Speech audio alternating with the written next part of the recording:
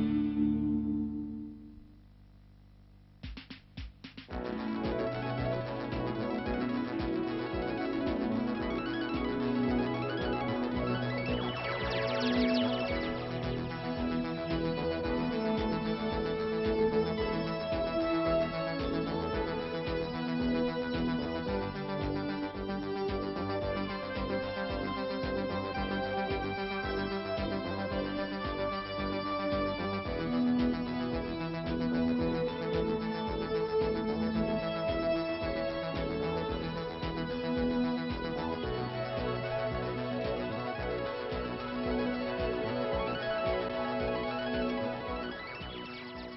Mesdames et messieurs, bonjour. Voici une nouvelle chasse au trésor qui a lieu aujourd'hui à Djibouti. Djibouti, c'est ici, vous voyez, dans le golfe d'Aden. C'est un point stratégique entre la Méditerranée, si vous voulez, et l'océan Indien, au détour de la mer Rouge. Djibouti, jeune république, puisqu'indépendante depuis 1977. C'était auparavant, vous le savez sans doute, un territoire français, le territoire des Afars et des Issa. Et c'est aujourd'hui une jeune république qui souhaite se développer rapidement avec un port qui a un petit peu perdu de son prestige quand le canal de Suez a été fermé, mais qui a beaucoup d'atouts pour redevenir une place très importante à ce carrefour entre le monde arabe et l'Afrique, qui est un carrefour très important. Alors nous jouons à Djibouti avec deux candidats luxembourgeois. Bonjour, ce sont deux jeunes candidats. Pia, et Joey. Bonjour. Vous venez de Luxembourgville, Pia. Et vous, Joe Et de la Moselle de Rémiche.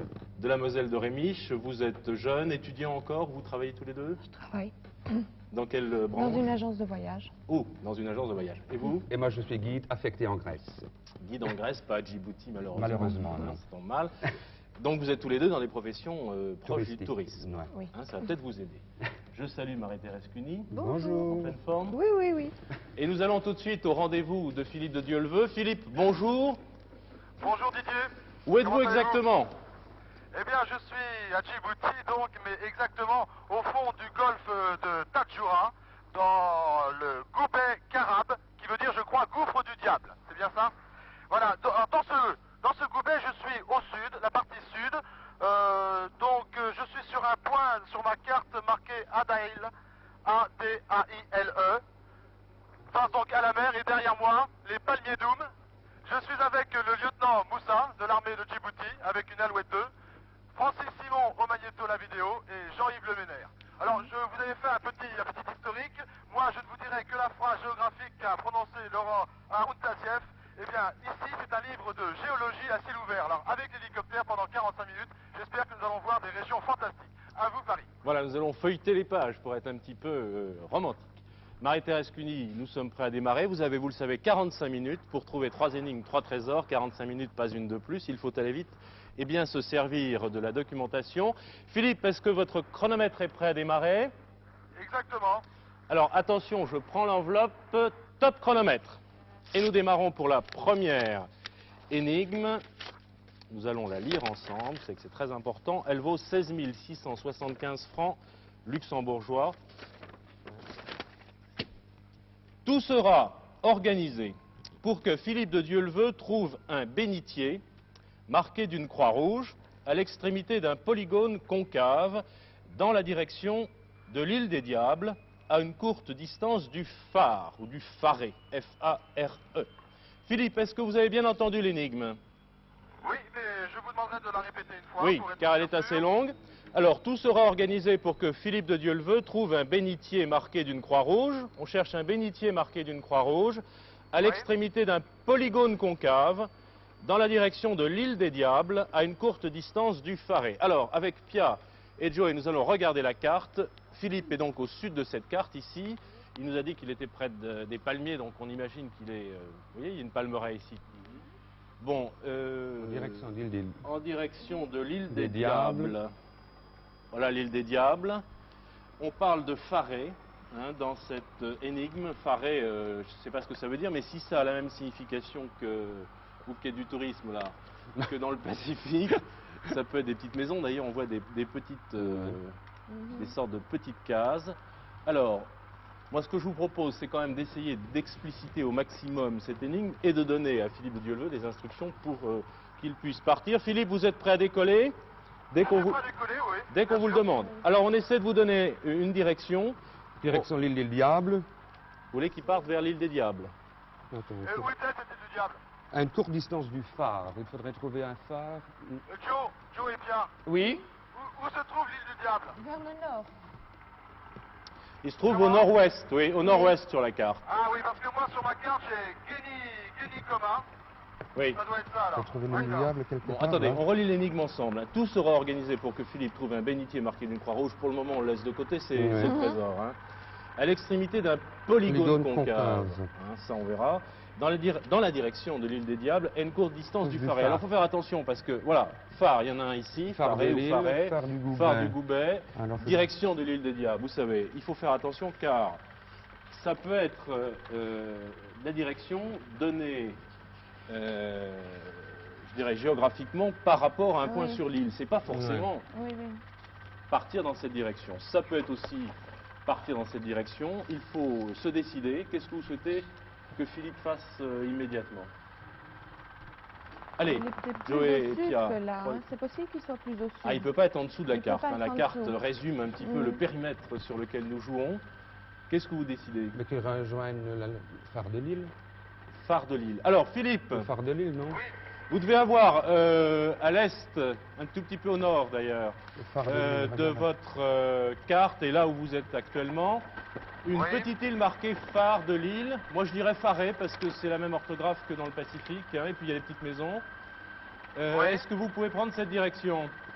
D'accord, donc d'accord, Donc- bah, j'y vais, oui. Philippe, on abandonne pour le moment l'idée de l'île des Diables, hein, c'est ce que viennent de dire Pia et Joey, et ils préfèrent que vous alliez voir ce qui se passe au Faré de l'île. Alors donc un, un, un, un faré, un faré c'est une construction. Bah, Apparemment parce qu'il y a une petite maison sur la carte. D'accord. Bah, écoutez, voilà, j'ai pris de l'altitude dès que j'ai décollé et j'aperçois donc euh, cette île et je vois moi-même d'ici Ah bon euh, une petite construction. Alors je, je m'y porte. Très bien. Vous pouvez décrire le paysage un peu? Bah, écoutez, cette île, euh, ici, ici, c'est une région euh, volcanique.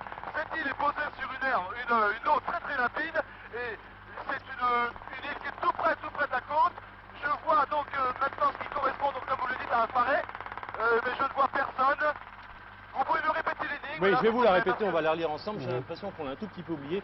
Tout sera organisé hein, pour que Philippe de Dieuleveux trouve un bénitier marqué d'une croix rouge. Alors on peut, je sais pas, on peut imaginer euh, euh, un comité d'accueil de Ah l'armée oui. djiboutienne, on peut imaginer, euh, je sais pas moi, des jeunes filles euh, lui, lui tendant un bénitier avec une croix rouge. On ne sait pas, hein, tout sera organisé. Bon, il y a peut-être un comité d'accueil. Euh, un bénitier marqué d'une croix rouge à l'extrémité d'un polygone concave dans la direction de l'île des Diables à une courte distance du Faré. Bon, Donc, c'est Pierre et Joe, important. Pierre et euh, Pierre et Joe. Joe. Oui, Oui Oui, je, je vous, je vous interromps. Le faré, donc j'ai bien compris l'énigme, il y a quelque chose qui sera organisé ici pour nous, pour l'équipe de l'hélicoptère. Le Oui. faré est complètement vide. Alors je peux... Il y a personne. Il n'y a personne. Je Oui. peux peut-être prendre de l'altitude et voir s'il n'y a pas un autre faré dans cette région. Mhm. oui, car on peut supposer que tout sera organisé, qu'il y aura Mhm. donc, euh, une- je sais pas, un comité d'accueil, quelque chose qui puisse aider Philippe. Vous n'avez vu personne, Philippe? Je n'ai vu personne. Nous avons survolé. Ils ont décrit plusieurs cercles autour de ce faré. Nous n'avons vu personne. Bon, Par contre, je vois sur là. ma carte, et vous sur la vôtre aussi, il doit y avoir faré du Goubet. Oui. Faré du Alors, Goubet. Oui, oui, effectivement, beaucoup plus à l'est. Oui, c'est cela. Alors, ce sont donc les deux farés qui sont marqués sur la carte. Alors, voir le deuxième. Bon, Pia, Pia et Joey euh, vous demandent donc, euh, d'ailleurs ils vont vous le demander euh, directement car ils sont un petit peu timides, ils vont vous Oui. demander directement d'aller vers le Faré du Goubet, donc, c'est-à-dire de remonter un tout petit peu au nord-est, d'accord? D'accord, j'ai bien compris. Nous déportons tout de suite. L'hélicoptère maintenant est à quelques mètres de l'eau et on y va. Donc vous voyez le chemin que, Ouais. que- qu'effectue Philippe avec l'hélicoptère. Alors, moi je, moi, je crois qu'il faut qu'on essaye de... Le phare du Gobert, regarde. Et, les- et les Joey, polygones il faut qu'on essaye de là. réfléchir un tout petit peu. Tout sera organisé. Pour que Philippe de Dieu le Bon. trouve un bénitier marqué d'une croix rouge d'un poly- polygone concave. Alors, tout sera organisé. Euh, Donc, Philippe il y a une nous, fête, nous a permis de comprendre qu'il y a des gens qui doivent l'attendre, probablement, Ben oui. si c'est organisé. hein. Pour qu'il trouve un bénitier marqué d'une croix rouge. Qu'est-ce que c'est un bénitier marqué d'une croix rouge? Vous pensez que c'est un bénitier d'église euh, C'est un pays Non. musulman, mais enfin, il y, a eu, euh, il y a eu des Français pendant très longtemps. Il peut y avoir des, des vestiges chrétiens, on ne sait pas. Ah oui. Qu'est-ce que vous pensez pour le trésor? T'as aucune idée? Philippe, le bénitier marqué d'une croix rouge, ça vous inspire? Écoutez, bénitier marqué de croix rouge, un bénitier, je sais qu'on en trouve dans les églises, en effet. Oui, oui. Euh, les bénitiers, c'est également gros coquillage, Ah, l'énorme coquillage que l'on trouve. effectivement, c'est une signification qu'on peut donner au Comme, bénitier. comme on est au, comme on est au-dessus de l'eau, euh, je vois un rapport très net là. D'accord, alors on va vérifier. On va vérifier si, euh, effectivement, vous avez tout à fait raison, Philippe. Ça peut être un bénitier euh, coquillage. Ça existe. Pia, vous avez entendu parler les- des bénitiers coquillages Non, non, Pas du jamais. tout. Jamais entendu. D'ailleurs, il y a Voilà. des bénitiers dans les Beaucoup de églises qui font des coquillages. Le temps tourne vite, hein. il nous reste 37 minutes 45 secondes. Alors je regarde, là, vous m'avez donné Pierre un petit livre sur les coquillages. Merci, j'y connais rien du tout. On va découvrir ensemble. Le petit avion. Philippe, vous nous dites dès que vous êtes en vue du Faret du Goubet. Écoutez, je pose la question au pilote. On est encore loin du Faret du Gouvet Non, non, on est à 3 minutes. Vous penchez pour la solution euh, coquillage Oui. Ça peut être un bénitier euh, d'église, pourquoi pas? Voilà. Il peut, il peut, euh, éventuellement y avoir là-bas euh, ce genre euh, d'ustensile d'église. En tout cas, ce genre de, de pierre? Moi, je vois pas hein, dans ce petit Non, livre. je vais pas trouver non plus. Alors, on relit l'é- l'énigme ensemble. hein. Tout sera organisé, on a compris. Pour- Enfin, on a compris. On essaie de comprendre pour que Philippe de Dieuleveux trouve un bénitier. On a deux solutions, un bénitier d'église ou un coquillage marqué d'une croix rouge. On verra ce que c'est. À l'extrémité d'un polygone Polygone concave. Qu'est-ce que c'est qu'un polygone concave? Ouh là là.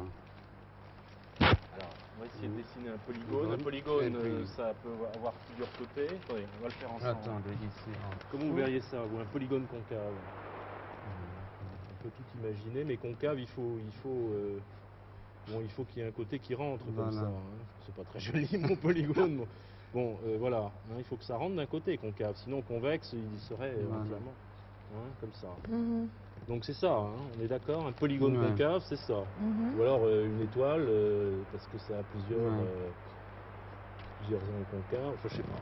Comment vous voyez ça? Vous voulez pas en dessiner un là Philippe, Oui, oui. où êtes-vous? Euh, je suis toujours donc en direction de ce Faret. Je vais donc au fond euh, du Gouvet Carabe. Euh, D'après ce que me dit le pilote, on ne devrait pas tarder à le voir. D'ailleurs, je crois que c'est ça. Je sais pas si. Ah, non, il est en train de Pierre, le, le est-ce que vous avez trouvé Non, il se croit que c'est au bout là. la signification du, Polygone. du polygone et du bénitier Non. Alors Philippe, ce qui est important, c'est que vous nous disiez, dès que vous arrivez en vue du Faret, si vous trouvez, si vous tombez sur un comité d'accueil. Hein, car si tout est organisé, en principe, euh, il doit se trouver là des, des gens pour vous aider. On est d'accord? Philippe? D'accord. Oui. Bon, maintenant, je, je vois très nettement les constructions. Oui. Donc, le Faret est juste devant nous. Et je vais voir s'il y a du monde. Alors, si euh, Philippe n'a pas euh, une définition du bénitier, il va chercher un peu euh, au hasard. Ah, Pierre et Jo Oui. Voilà, oui, nous arrivons. Je vois devant moi deux constructions et je vois un bateau avec le drapeau, le drapeau djiboutien. Oui Oui. Ok, on va décrire un petit cercle. Il y a des hommes en tenue de plongée. Il y a Voilà, des quoi voilà, des hommes en tenue de plongée. Oh là là Oui. Aïe, aïe, aïe. Et un deuxième, un petit dinghy est accroché au, au Faret. On peut se poser Ok. Bon, vous avez bien compris. Alors, après, alors, on pense que c'est là, hein, puisqu'il y a des, des hommes en tenue de plongée, un petit dinghy, c'est un petit bateau en Ouais. caoutchouc. Euh, écoutez, moi je sais pas, mais enfin si, on fait chercher, là. si on fait chercher à Philippe un bénitier d'église euh, sous l'eau, ça me paraît curieux. Moi je pencherais plutôt pour la d'accord, solution du coquillage, encore que les producteurs en ont fait d'autres, on ne sait pas. Vous n'avez pas trouvé, moi je trouve pas, hein, le, bénitier. euh, Vous n'avez pas trouvé, Pia? Ça pourrait pas être l'entrée d'une grotte. Qu'est-ce qui pourrait être l'entrée d'une grotte Le Le polygone polygone concave. à l'extrémité. à l'extrémité d'un polygone concave. Ça peut être, écoutez, regardez, si on dessine un polygone, ça peut être un polygone dessiné euh, sous l'eau par des coquillages, peut-être, je ne sais pas. Qu'est-ce que vous pensez de Ouais. Et le phare dans l'eau du phare, donc la direction est la bonne. ça On va voir. on Le va polygone voir. concave. Jo et Pierre. Jo et Pierre. Oui. Oui. Je, je m'approche du Faret. Je vais donc rencontrer des gens qui sont là. Alors je leur demande de m'aider. Oui. Je leur demande de m'aider à quoi faire Bah écoutez, euh, ils sont un petit peu dans le noir, Pia et, et Joey, À euh, l'extrémité d'un polygone concave, on n'a pas encore trouvé la solution de... moi je leur propose l'idée suivante qui serait que ce polygone bon, pourrait être euh, un dessin euh, sous l'eau par exemple, fait par des coquillages ou par quelque chose comme ça, ou par des coraux, car je crois qu'il y a des coraux. Vous voyez des coraux d'en haut? Est-ce qu'il y a des coraux? Oui, il y a beaucoup de coraux, par exemple. Vous les voyez d'en haut? C'est ça C'est ça, oui. D'accord, donc j'ai bien face à moi un monsieur chargé de m'aider. Bon, Ok. alors, un bénitier marqué d'une croix rouge, on penche pour la solution, on est bien d'accord? Coquillage. Philippe. Je dois aller avec vous et vous devez m'équiper D'accord, bon, écoutez, Jean-Yves, tu te souviens Je me rappelle lorsque les producteurs nous avaient demandé si on savait plonger. Je crois que c'est bon maintenant pour Jean-Yves. Alors, On va, Philippe on va s'est s'équiper. équipé en Bon, si, si plongée. tu peux aider, Oui. aider Jean-Yves. Il faut maintenant lui donner des indications précises. Alors, dans la direction de l'île des Diables, en courte distance du Faret, hein, le Faret, il est là. Ouais. Bon, dans la direction de l'île des Diables, faites-le plonger bah, dans la direction de l'île des Diables. Oui. Bien sûr. Alors, donnez-lui une indication précise pour, pour qu'il plonge et qu'il euh, fasse une recherche euh, aussi rapide que possible. Pierre, donnez-lui Bon, des alors, indications. euh, Parlez fort, hein. Je suppose qu'il est là environ, hein Oui.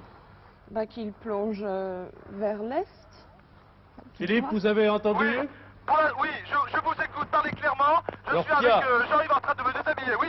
Pia et Joey vous, dem- vous demandent de plonger complètement à l'ouest. À l'ouest, Ouais. c'est-à-dire dans Oui. la direction de l'île des Diables. D'accord. D'accord Ok, je vois l'île du diable. Et nous cherchons probablement un coquillage, encore qu'on n'ait pas trouvé de coquillage euh, répondant à cette définition, mais je crois qu'on n'a pas bien cherché, à mon avis. Euh, Et c'est la vie des océans, c'est... Est-ce qu'on va pouvoir vous parler sous l'eau, Merci. Philippe Écoutez, je n'en sais rien. Pour l'instant, je suis toujours avec mon portable dans le dinghy. J'enlève mes chaussures. On va s'équiper. Je vais voir. Je vais, je pense, me diriger vers le bateau. Et là, je pense que je pourrais vous donner plus, plus ample d'informations. 14 minutes d'écoulé. Écoutez, moi je vous propose de dessiner, hein, essayez de dessiner un polygone concave, de- imaginez ce que ça pourrait être sous l'eau, puisque visiblement oui. euh, tout était prévu, c'est dans les lignes pour que Philippe plonge. Hein.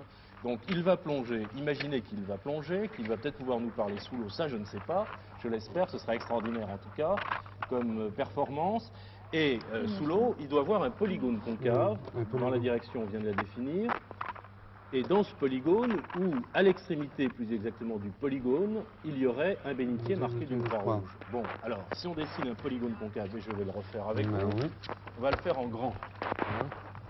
Dessiner un polygone concave. Voilà, Mmh. petit exercice. Nous avons euh, mangé, si je puis dire, euh, 14 minutes 30 C'est pas grave. C'est pas grave. Bah. Mais vous trouvez le premier Et pas les autres. et pas les autres, C'est une façon de tout. jouer. C'est une façon de jouer. Alors ça, c'est Ah. votre polygone concave. Bon. Alors, Il est bizarre. Il est bizarre, mais ça fait rien. hein. Si on le rapproche et si on le met dans euh, la direction de l'île des Diables, hein, ce polygone concave, on peut imaginer que c'est là. Ouais. Il y aurait ce Vous bénitier. pouvez donner un petit coup de main D'accord je fais grand parce que pour qu'on le voit. Jean-Yves, ça va pour toi Philippe. Oui. Écoutez, pour l'instant, nous nous dirigeons donc toujours vers ce, vers ce bateau. Oui. Voilà, nous venons nous équiper. Et il y a moyen de transmettre des images et des sons de, en dessous de la mer, quoi.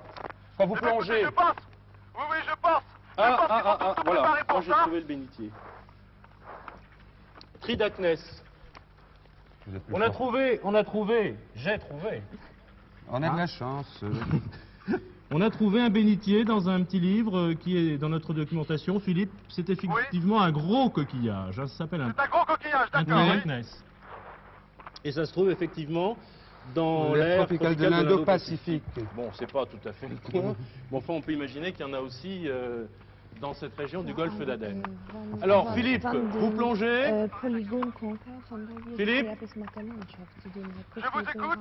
Vous plongez Pas encore, non, non, voilà, j'arrive au bateau. Oui. Oui.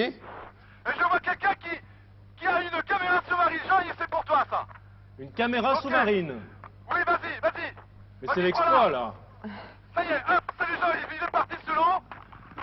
Et qu'est-ce que je dois faire maintenant Mais vous plongez. Oui, attendez, alors Paris, je dois donner mon portable. Alors je quitte la liaison et, et je, le reprends, je la reprends dès que possible. D'accord. Donc, on se résume. Philippe cherche un bénitier. Vous avez vu. Mhm. Voilà, voilà un bénitier. euh, marqué d'une croix Croix rouge, rouge. pour qu'ils le reconnaissent, j'imagine, Mhm. À à l'extrémité. d'un polygone concave. Et c'est pas la carte, la forme de la carte qui, me- qui fait un, un polygone concave, non? Bah écoutez, euh, En je sais direction. pas, mais enfin, je trouve pas qu'elle ait tellement l'air d'un polygone Non. concave. Non, là, Vous trouvez, vous partie-là, non.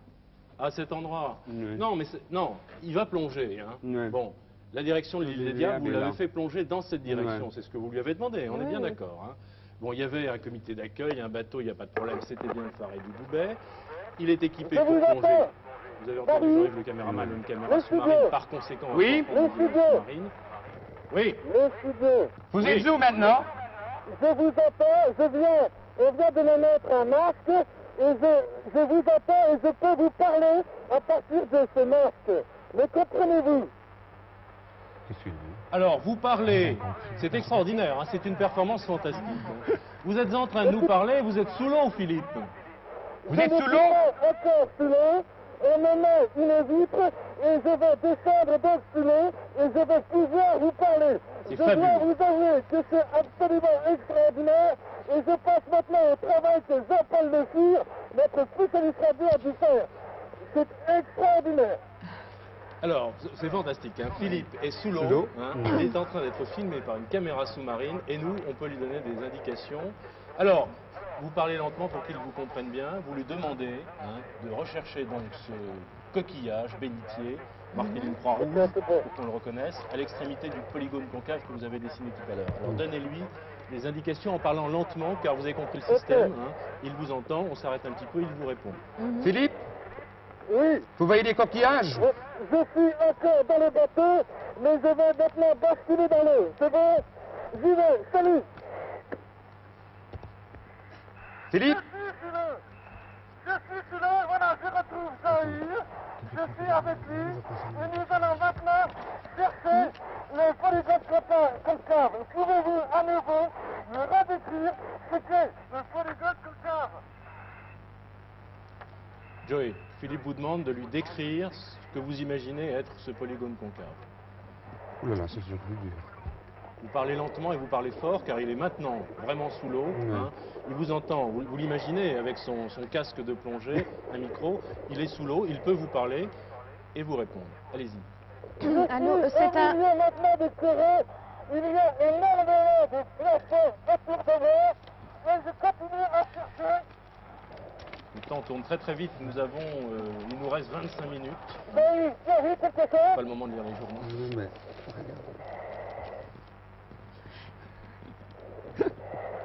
Allô, c'est quel paysage sous-marin Philippe, C'est rocailleux ou... on va lui demander. Philippe, nous avons besoin de savoir ce que vous voyez. Oui, je continue à chercher. Je pense pouvoir essayer. C'est extraordinaire. Moi, je connais pas l'image. Je ne vois toujours rien pour l'instant. Je continue au milieu de ces couleurs fabuleuses. Il y a des poissons fantastiques. Ça Alors on imagine, Philippe, que c'est un amas de Tiens. Iso, Oui, tiens, Iso. Je suis maintenant, voilà, je suis maintenant au-dessus d'un certain nombre de bénitiers rassemblés. Je vais les retourner On les trouve des pour bénitiers. voir si j'en trouve un avec une croix rouge. Oui. Oui Saïd Saïd Aide-moi, il faut les retourner tous. ça a la forme d'un polygone concave. Paris Paris J'ai un bénitier avec une croix rouge Chronomètre. C'est pas vrai. Paris Top. Je ne vais pas lui demander de sortir le, le bénitier tout de suite. Philippe, vous avez bien trouvé un, un bénitier, un coquillage marqué d'une croix rouge. C'est extraordinaire Philippe super Bon, on va le laisser sortir de l'eau. Bah oui. Euh, et on, on a arrêté le chronomètre. Il a il, a, trouvé. bien trouvé, il n'y a pas de problème. Marie-Thérèse Cuny. Bien, mais quand même assez nettement. hein. Il était sous l'eau, au milieu des poissons, des coraux, et il était en train de chercher ce que vous n'avez pas trouvé vous-même. Voilà, D'ailleurs, ce que c'était qu'un bénitier, c'est un énorme coquillage que l'on trouve par centaines dans ces mers qui sont euh, splendides, il faut bien le dire. Il y a des coraux, il y a des poissons de toutes les couleurs, Philippe le disait tout à l'heure. Et alors, les producteurs sont un petit peu, évidemment, sadiques, ça, il faut bien le reconnaître de temps en temps. Nous sommes dans une très très belle région où la mer est formidable à visiter, donc il fallait bien que nous y fassions un tout petit tour. Ils avaient donc dessiné au fond de la mer un polygone concave. Donc, qu'est-ce qu'un polygone concave? C'est, le- me direz-vous, le contraire d'un convexe, d'accord? Et à l'extrémité de ce polygone dessiné avec des bénitiers au fond de la mer, il y en avait un marqué d'une croix rouge. Bien. Philippe Ah. est formidable parce qu'il l'a trouvé tout seul, je dirais. Ne comptez pas trop sur votre chance. hein. Bien, euh, je dirais aussi que il faut faire attention quand même dans cette mer qui est très belle et très accueillante parce que les requins ne sont pas loin. Euh, ils ne franchissent pas très souvent euh, la barrière du, du Goubet al-Karab, mais enfin on dit quand même qu'ils la franchissent de temps en temps. Et, et ils- s'ils viennent pas très près, c'est qu'ils sont polis. La moindre des choses, ce serait de rendre la politesse et de ne pas aller leur chatouiller de trop près le museau. Cela dit, je souhaite que Philippe sorte vite de cet endroit ravissant, mais un petit peu dangereux. Et je vous conseille de prendre tout de suite la deuxième énigme parce que vous avez perdu Et énormément oui, de il nous temps. reste 24 minutes 14 secondes pour, euh, pour euh, trouver les deux autres énigmes et les deux autres trésors. Philippe Philippe Oui, je vous entends. Bien, vous nous raconterez l'exploit. Est-ce que vous êtes prêt à repartir.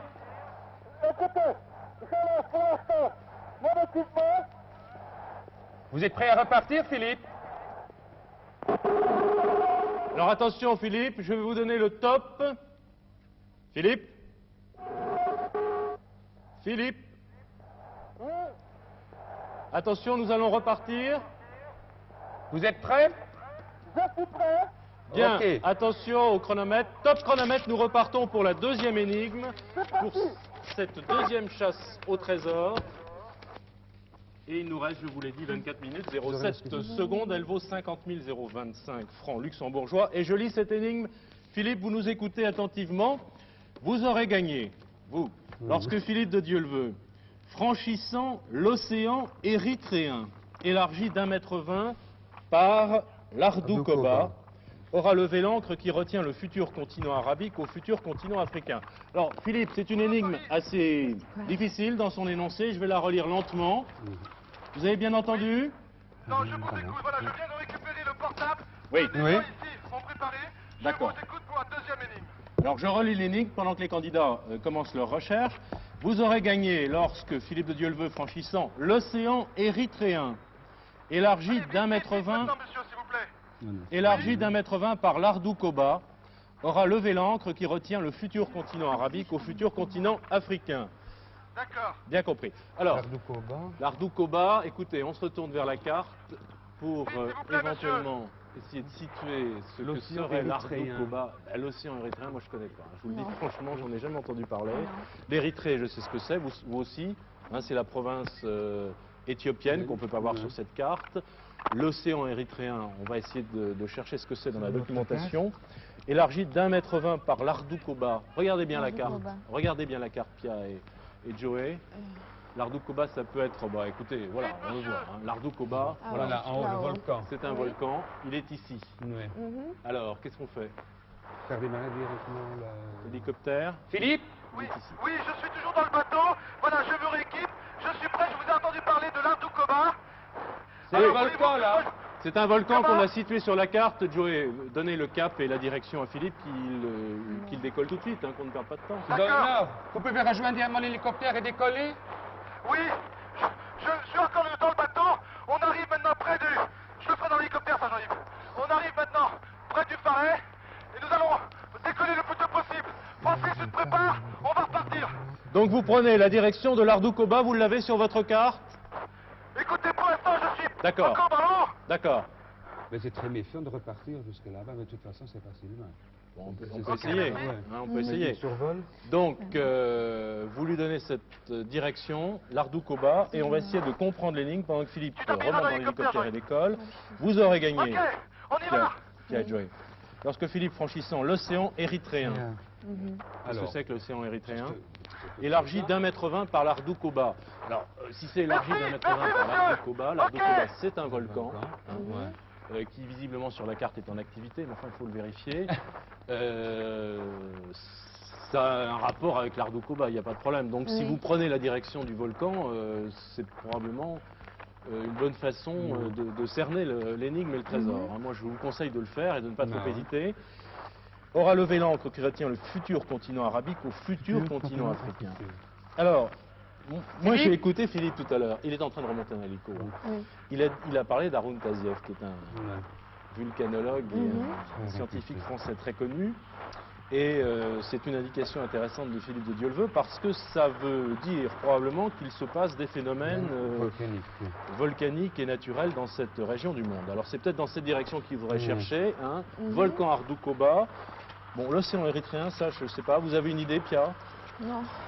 Élargi d'un mètre vingt par là. Aura levé l'ancre Mais c'est peut-être pas le nom euh, qui retient le futur continent arabique. Arabe Regardez, regardez, qui retient, une encre qui retient le futur continent arabique Au au futur, futur. continent africain. Bon, Euh, ça veut dire quoi ça? Ça voudrait dire éventuellement qu'il y a un mouvement euh, géologique? Oui. Qu'est-ce que vous en pensez? Voilà, ok. Non. Voilà, Jean, nous sommes dans l'hélicoptère maintenant. Oui Je viens de remettre les batteries de la caméra terrienne, si je puis dire. Et nous redécollons, ok lieutenant? Alors vous prenez, vous prenez à la demande de Pia et de Joey la direction du volcan Ardoukoba. D'accord? Au nord-ouest. Ardoukoba. Ok, on y va Au nord-ouest. Merci à tous, un jour C'est fantastique, ils ont été superbes Et je dois avouer que chasse au trésor sous-marin, c'est vraiment là une grande et belle définition Extraordinaire Alors, pendant que Philippe va voler avec l'hélicoptère vers le volcan, vous êtes d'accord hein, vous Oui, oui. Oui. Vous n'aurez pas de non, non, regret. non, non. C'est votre il faudrait juste trouver la signification de l'océan érythréen. Érythréen. C'est peut-être pas le nom euh, de Gobet al-Kharat. On ne sait jamais. Ça, ce, ce petit goubet euh, s'appellerait l'océan érythréen dans le, dans le langage. lo- Il est loin, il est loin de l'art de. Koba. Vous pensez qu'on aurait pu donner donc localement hein, à Bah cette oui. euh, anse le nom d'océan érythréen? Je sais pas. Je mes peux pas vous répondre. euh, Bah oui, et puis- regardez, c'est loin de Koba. Bah oui. Et euh, si on lit bien l'énigme, Élargi d'un mètre Franchissant vingt. l'océan érythréen, élargi d'un mètre vingt Vingt. par l'Ardoukoba, vous savez qu'un volcan en éruption, lorsqu'il y a une éruption, peut créer des phénomènes euh, autour. Hein, Souvenez-vous de ce qui s'est passé dans d'autres pays? Où est-ce que vous vous trouvez alors maintenant? Écoutez, Exactement. Il donc était nous avons parti là. repris. Oui, dites-moi, je viens donc de prendre la direction euh, toujours donc de l'Ardoukoba et nous sommes maintenant à proximité de, de l'île du Diable. Oui. Ah oui, Sur sur le l'île du Diable. Guénicoma, que nous n'allons pas tarder à passer. Est-ce que vous le voyez déjà Vous le voyez de loin le volcan. Je ne vois pas encore le volcan, non. Bien, alors écoutez Philippe, on va essayer d'avancer nous dans le décryptage de l'énigme. On va essayer de mieux la Oui. comprendre pendant que vous volez vers ce volcan Ardoukoba. Alors, relisons ensemble, Pierre et Joey.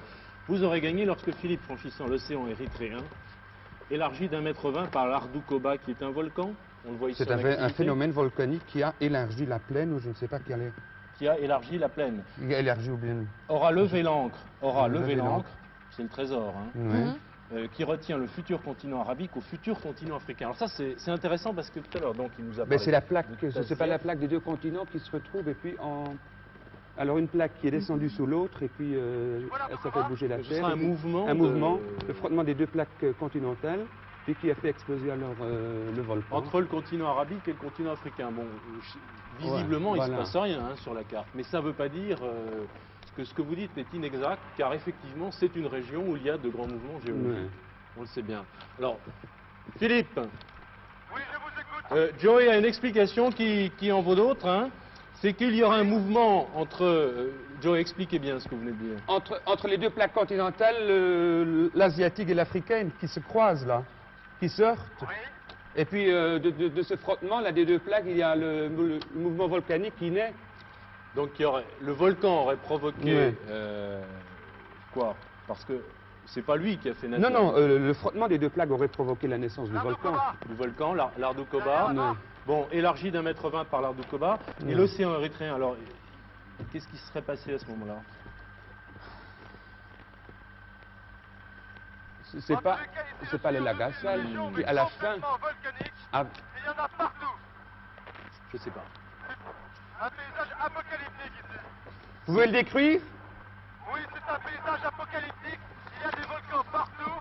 Du basalte plein la terre ici. Et cette eau limpide, complètement verte. C'est absolument dantesque. Merci. Alors, Voilà, pour accéder au lac Assal, il faut traverser toute une région volcanique et évoque énormément l'enfer dedans. mais il y là dans l'enfer de Ouais. Dante, hein, Mhm. Philippe. Le 78. Éruption en 78. Oui, né d'une fracture causée par une intense activité sismique. Oui. Ce petit volcan n'aura vécu que l'espace d'une semaine. Donc il n'est plus en activité. Philippe, le volcan n'est plus en activité. Et il est né donc d'une une- d'une activité sismique importante. Alors, euh, T'as trouvé quelque chose, là? moi, Non, moi, je non, retiens non. votre explication du mouvement des deux, Des deux plaques plaques, continentales, puisqu'on parle hein, du futur continent arabique Oui. au futur continent africain. africain. Et ce qui pourrait se passer, c'est que euh, ce volcan, les mouvements géologiques qui ont lieu euh, probablement dans cette région, etc., sont en train de euh, séparer un petit Bah peu oui. les deux continents, puisqu'on l'a vu tout à l'heure en démarrant l'émission sur la map monde. Euh, Djibouti est au carrefour entre le monde arabe et le, le monde africain. hein. Alors, euh, continuons sur Koba. On va peut-être trouver des, Ah indications plus précises. hein. L'Arabie, voilà, voilà, voilà, voilà. Mais signification, Alors, c'est la que preuve concrète de l'écartement Incessant incessant. des continents, voilà. Hein, regardez. Voilà, donc les deux continents, Arabie, Afrique, 20 Voilà. mètres. Qui s'écartent de 2 cm Centimètres. par an en moyenne. voilà l'océan érythréen qui sera dans quelques millions d'années aussi important que l'Atlantique. Ah, alors là, on a des Donc. indications très précises. Philippe, Joey va vous résumer tout ça. Allez-y, Joey. Alors, en franchissant la zone volcanique, là, il y a les deux plaques continentales africaines et, et arabiques qui se séparent de 2 cm par an. Alors, il faudrait... Vous voyez une fissure? Vous voyez Une fissure? Oui, une, une cassure dans, Une dans cassure. Le, dans le terrain. Vous voyez une fissure Jean-Yves On peut prendre un peu d'altitude, s'il vous plaît Oui. Et alors, L'art de il est où? C'est celui-là, là hein Vous l'avez... Je vois bien l'art... vous le voyez, le volcan le voyez? Je vois l'art de Koba Oui. Oui. et je cherche la fissure. Donc cette cassure, ce que nous disent Joey et euh, Pia, Philippe, c'est que c'est une cassure géologique, qu'il y a là-bas un mouvement entre les deux masses continentales, qu'il y a probablement une fracture Voilà, qui qui s'écarte de 2 cm par an, et alors Maintenant, je- à peu près 1m20. et dans des millions d'années, il y aura un océan. Voilà. C'est ça hein, Qui s'appellera, Voilà, qui s'appelle déjà l'océan érythréen. Ok, on y va. Ok. Nous, nous venons de repérer donc une fissure. Oui. Oui. D'environ 1m20. Comment? D'environ 1m20 de largeur. Je n'ai pas compris. La fracture ou la fissure ferait 1,20 m de largeur, selon... 1m20 de largeur, Joey. oui, c'est possible. Nous allons descendre un petit peu maintenant. Marquer que dans Alors. un livre comme Et ça. Joey et, et Pia Oui. aura levé l'encre qui retient le futur continent. Mmh. Dites-le à, à Philippe. Allô? Il vous Oui, écoute. je vous écoute. Euh, Bon, alors il faut. aura levé l'encre qui retient le futur continent arabique au futur continent africain. Donc on Il y a cherche quelque une chose qui, Ah, voilà. qui retient les deux, qui rejoint les deux. D'accord, oui, j'ai compris. Nous survolons maintenant. Donc la faille que je vois devant moi, c'est fantastique. C'est carrément une coupure dans, dans la terre. On a l'impression que ça va se séparer. Et alors je cherche une encre. Oui Pour l'instant, je ne vois rien. Je ne vois rien pour l'instant. Et c'est la naissance de deux une encre. Oui. Ok C'est un phénomène extraordinaire. Ah, Ah, c'est fabuleux de voir ça d'ici. Et vraiment, il avait raison. C'est un livre de géologie à ciel ouvert. C'est fabuleux. Mais il faudrait passer non pas 45 minutes ici, mais il faudrait passer 45 jours. Le volcan est bien éteint, comme nous le dit euh, la documentation. Absolument, absolument. Oui. J'arrive J'arrive là, je vois une corde euh, Lieutenant, on peut, on peut atterrir s'il vous plaît? Il y a une corde ici qui, qui retient effectivement, effectivement les deux parties de la Terre, ici devant nous 12 minutes. On va se poser 12 minutes. Ok Oh c'est fou ça Combien de temps reste-t-il là 12. 12 minutes, mais c'est pas grave. Mais si, c'est grave. Bah non, mais qu'il prenne bien moins son que- temps, qu'il n'atterrisse pas trop vite. Voilà, on se remet dans l'axe de la fissure Oui. Maintenant il peut voir correctement C'est dingue, il y en a partout en dessous de nous, partout J'espère que ça n'a pas bougé pendant les, les quelques minutes qui vont nous prendre maintenant pour... Voilà, je suis peut-être maintenant à 50 mètres de cette, cette corde et je vois bien distinctement l'encre. Vous pouvez vous poser se avec l'hélicoptère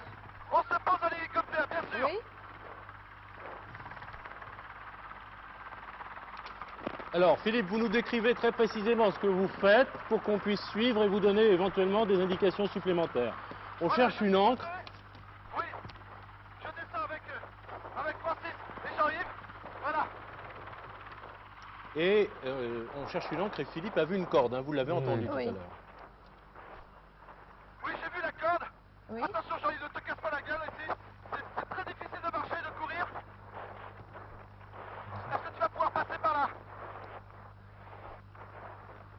Bientôt 10 minutes. Il Attendez, nous restera je bientôt suis 10 obligé minutes. de faire le, le tour que je ne pourrais pas. Philippe, le temps tourne. Je sais que c'est très difficile. Très, très difficile. Tiens Jean-Yves, tu, peux, tu veux passer par là Philippe, j'ai une petite indication à vous donner ici. Oui Allez-y, professeur Alors, euh, l'ouverture des... L'ouverture de failles de tension, nombre de plus de deux douzaines, parallèle à la direction tectonique régionale. Bravo ils, ils ont sauté tous les deux avec la caméra et le magnéto de la fissure, voilà Nous y arrivons maintenant Vite Jean-Yves Attention, préparez votre chronomètre J'ai l'encre dans la main et je la balance je, de l'autre côté Top Top chronomètre. Bravo. Je crois qu'il avait largement dépassé euh, l'état de vos recherches dans, vos dossiers. Bravo. Alors c'est une encre, hein, c'est bien ça. C'était une encre et là je me suis largué d'un continent, on part à la dérive Merci. Alors expliquez-nous ce qui se passe euh, C'est un apparemment premier pas pour, d'extraordinaire. euh, C'est un premier pas pour Philippe de Dieu-le-Veut, c'est peut-être aussi un grand pas pour l'humanité, pourquoi pas. hein. J'étais un petit peu sévère avec vous tout à l'heure, vous me pardonnerez, mais c'est vrai que vous étiez un petit peu timide et vous, que vous ne trouviez pas. Là, je dois reconnaître que vous avez fort bien réfléchi, puisqu'il s'agit là, euh, à propos du volcan Ardoukoba, en fait, il s'agit d'un premier cri de douleur, on pourrait appeler ça, de la Terre pour un nouvel enfantement, celui d'un nouvel océan qui va naître qui s'appellera l'océan érythréen. Nous sommes ici à environ à 80 km de Djibouti et donc en 78, entre le 7 et le 14 novembre, ce petit volcan tout d'un coup s'est mis à, à exploser. Bon. Alors, nous sommes maintenant les spectateurs un petit peu inconscients d'un énorme bouleversement géologique qui va transform- transformer vraiment notre planète. Comme exactement, vous l'avez dit tout à l'heure, il y a 100 millions d'années, l'océan Atlantique est né. C'est-à-dire qu'il a séparé à ce moment-là l'Afrique de l'Amérique du Sud. Nous sommes exactement dans la même condition. Et euh, si vous voulez, euh, bon, c'est la dérive des continents, euh, je ne vais pas vous expliquer tout ça, la théorie de la tectonique des plaques, c'est aussi compliqué. C'était une théorie, mais qui devient maintenant une certitude. On sait que la Terre, se- la croûte se, se sépare complètement et que le- la Terre va changer de, de- de visage. La. Et par, oui, merci Didier. Et par exemple, je ça. vous, je vous donne un exemple extraordinaire. Si on filmait par exemple cette déchirure qui fait à peu près 700 mètres de long maintenant, si on la filmait au rythme d'une image tous les 100 ans par exemple, eh bien on pourrait voir se former, si on projetait en accéléré, on pourrait voir carrément se former la- le, le nouvel océan. Et, et ça, ça, à mon avis, ça sera terminé, et à mon avis et à celle des scientifiques, dans environ 30 millions d'années environ.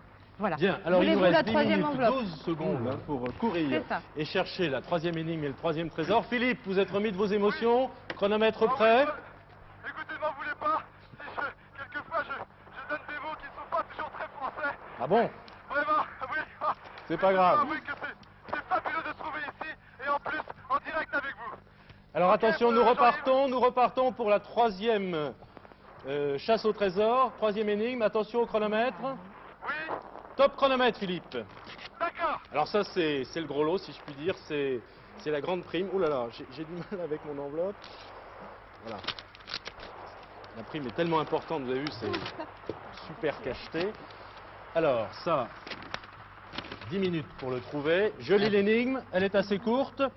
À 200 mètres sur le croissant blanc, dans l'axe de la piste chamelière qui mène au Fortin, vous trouverez un chèque de 20 000 francs français, c'est-à-dire 133 400 francs luxembourgeois. Je fais la conversion automatiquement, vous voyez.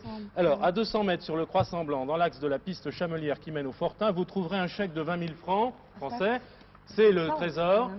Et euh, nous allons chercher l'axe de la piste chamelière qui mène au Fortin. Bien compris, Philippe? J'ai bien compris, voilà, nous redécollons avec l'hélicoptère et toujours avec le lieutenant Moussa. Nous allons décrire peut-être en passant un cercle au-dessus de cette faille encore. Ah, c'est fabuleux Et cette faille vraiment descend à une trentaine ou quarantaine de mètres dans la terre. C'est-à-dire, vous êtes sous le, nou- sous le niveau de la mer.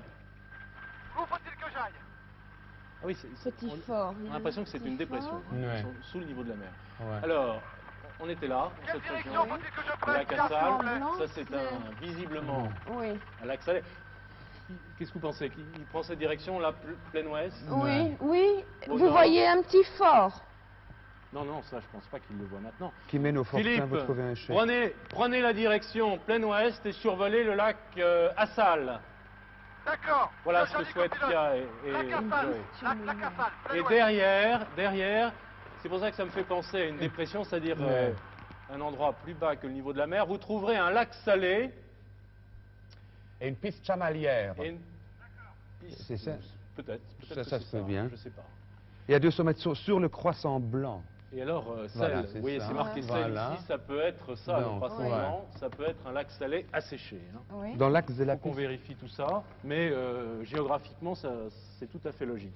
Donc le trésor, c'est un chèque de 20 000 francs français, c'est Mm. pour vous, hein, si vous le trouvez. À 200 mètres sur le croissant blanc, il faut qu'on situe le croissant blanc. Qu'est-ce que ça pourrait être que ce croissant blanc? Mais c'est la, forme d'un croissant. C'est la forme d'un croissant. Vous pensez que En cherchant ça... loin. Philippe, Oui, je vous écoute. Vous survolez le lac à Salle Eh bien, pour l'instant, oui, je survole le lac à Salle, mais donnez-moi un point, un point précis où aller. Vous voyez une petite dépression en donnant une forme d'un croissant, non? Écoutez, pour l'instant, non. C'est que je prenne un peu d'altitude. Cherchez dans les livres s'il n'y a pas euh, une indication sur euh, le croissant blanc qui mène au Un Fortin. croissant blanc, on cherche. Un Une croissant piste blanc. chamalière. Ça, ça peut peut-être se voir d'hélicoptère, Philippe. Une piste pour les chameaux. Écoutez, en tous les cas, non, pour le croissant blanc, je pense qu'il est face à moi. Voilà, Bon. tout au long, tout au long de, de ce lac, il y a une bande, une bande blanche, mais d'un blanc C'est ça. très pur, Oui. et, je- Oui. et qui forme en effet un croissant. Il est devant moi, il est immense, il fait plusieurs kilomètres. Jean-Yves peut le détailler maintenant avec sa caméra en faisant un panoramique. C'est vraiment fabuleux. Il est tout blanc et c'est un croissant. C'est ça. Voilà. une piste chamelière. Alors ça, Joël l'avait situé sur la carte. Est-ce que maintenant vous avez en vue une piste pour les chameaux Est-ce- Une piste pour les chameaux. Oui. Écoutez, Et vous voyez pas un petit fort Allez, chaque Pour chose. l'instant, je ne vois rien. temps. on va Six peut-être minutes prendre encore un 25. peu d'altitude. Oh, le blanc, vraiment, nous. C'est un désert de sel, alors c'est un lac asséché, c'est bien ça. Comment Philippe, c'est un lac Oui. asséché. En forme de croissant. Complètement, oui, sur les bords. Sur les bords, c'est, c'est- c'est- je suis sûr que c'est du sel. C'est d'un blanc très très pur qui vraiment fait mal à l'œil. Et piste chamelière. Moi, j'ai une piste. Ah, Oui. J'ai une piste animale. Oui, c'est une piste animale que je vais suivre. vers un Et petit je- fort. Écoutez. À voilà, 200 mètres. écoutez. Bien, bien, Joe. Maintenant, voilà, on a suivi la piste chamelière. J'ai maintenant devant moi un fort mais complètement détruit. C'est la seule construction qu'il y a sur Oui, ce Voilà, descendez, c'est ça. descendez. Descendez. Ça. Oui, je me pose à ce fort. Vous êtes à quelle altitude? Philippe? Philippe, Écoutez, oui, le- Jean et Pierre. Oui Jean et Pierre, nous sommes dans une dépression, car Jean-Yves, l'altimètre de l'hélicoptère vient de dépasser le zéro. Nous sommes en, de- en dessous du niveau de la mer. C'est ça. Nous sommes en dessous du niveau de la mer. Ouais. Tout à fait, cette région est connue pour être euh, effectivement euh, une région à dépression. Donc là, vous êtes à moins combien, Philippe? À moins, deux, à moins 150 mètres. Oh, Ah, à moins impressionnant. 100 mètres pour l'instant, et en dessous, ça doit faire 150 mètres. et vous êtes près du Fortin Je, je, je suis près du Fortin. Il faut Donc, il me ici, sur la piste chamelière. Ouais. Quelque part sur la piste. Voilà. Oui. Alors, à 200 mètres, mètres sur le croissant blanc. il y est. Dans l'axe de la piste chamelière, nous y sommes. nous y sommes. Vous trouverez un chèque. Voilà. Il nous reste moins de 5 minutes, Philippe. Posez-moi là sur la piste chamelière.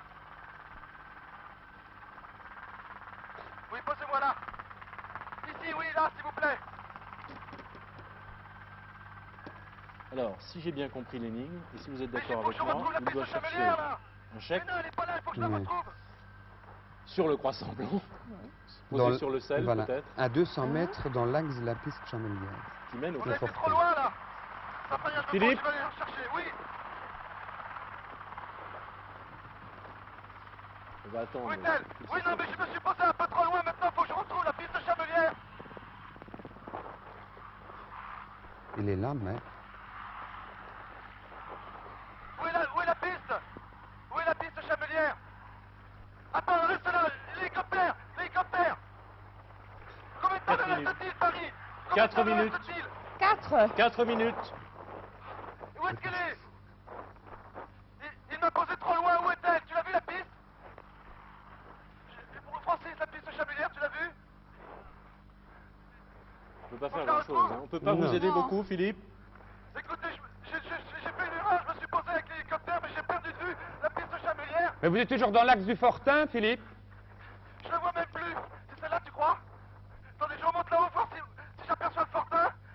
Vous l'apercevez toujours Attendez, je... Oui, je vois le portail, ok. C'est par là. Je redescends. On va prendre l'axe de la piste et on y va. Trois minutes bientôt. Trois minutes à courir. Ok, c'est ici. Donc, il est sur le croissant blanc. Hein, Ensuite, dites-moi exactement ce qu'il faut faire. Joe bien. Oui. Bien. Je...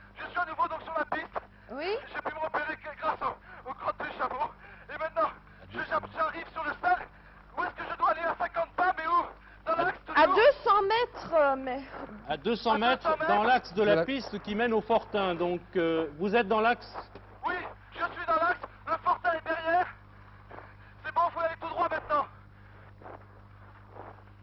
Qui Ah, mène. ah, ah, Ah. oui, Il oui, oui, oui, non, c'est pas aussi évident. Hein. c'est pas à l'autre 200 mètres du Fortin, forcément. Oui. À 200 mètres sur le croissant blanc, moins Dans de le- 3 minutes maintenant. Dans l'axe de la piste chamelière qui mène au Fortin. Paris Paris Oui Il y a une pierre À mon pied Sous la pierre, il y a un chèque Et je le prends Bien, top, Top chronomètre.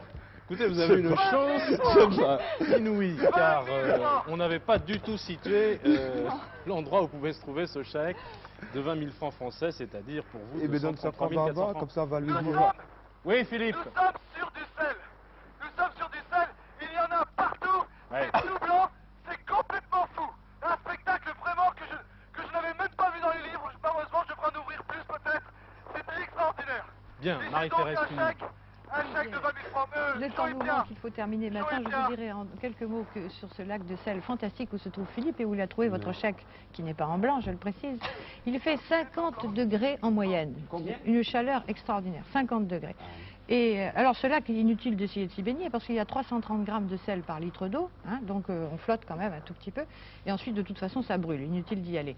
Il est malheureusement très très peu exploité parce que, bon, à part le, le- les petites économies locales, euh, ce sel, le lac est vraiment situé beaucoup trop loin pour qu'on puisse l'exploiter normalement. Donc ce sont des chameliers qui transportent de temps en temps des petites briques de sel et qui s'en servent eux-mêmes pour un commerce très particulier. Maintenant, bravo pour l'hélicoptère, bravo pour Philippe, vous avez volé 150 mètres au-dessous du niveau de la mer. Il est normal dans ces cas-là de vous délivrer un certificat qui dit que vous avez accompli cet exploit. Ça ne sert à rien, mais ça fait toujours plaisir. Voilà, Voilà. Philippe, vous aurez un certificat. Écoutez, Philippe j'ai vraiment, oui, j'ai eu peur. J'ai eu peur à un moment parce que j'avais perdu la, la piste chamelière, mais je l'ai. Euh, Marie-Thérèse, le chèque est en blanc. Alors, Joe est bien. Je le fais à quel- Toutes mes félicitations, hein Je, je le fais à quel nom Tu as un stylo À vous Bah écoutez, arrangez-vous avec Joe et Pia. En tout cas, de Joe ou au nom de Pia vous le faites au nom de Joe et de Pia, voilà. Voilà. Joe Voilà. et Pia, c'est joli. En tout cas, bravo Philippe, vous avez magnifiquement Super. couru et il y avait beaucoup d'exploits techniques dans cette émission. Extraordinaire, ah oui, sous l'eau. Tous les techniciens qu'il faut vraiment Ouais. féliciter. Mais en tout cas, vous avez bien couru. Bravo Joe et Pia, euh, vous avez bien, bien, bien cherché les énigmes. Je vais vous donner en prime une boîte du jeu de la chasse au trésor. Vous pouvez vous amuser comme Merci. ça au Luxembourg ou en conduisant dans vos touristes euh, vers d'autres destinations. Bravo, vous avez empoché donc les, les trois primes, vous avez trouvé les trois trésors. Euh, Je rappelle le total, euh, 50 025 francs luxembourgeois. Merci, bon retour au Luxembourg et à bientôt pour une euh, nouvelle chasse au trésor.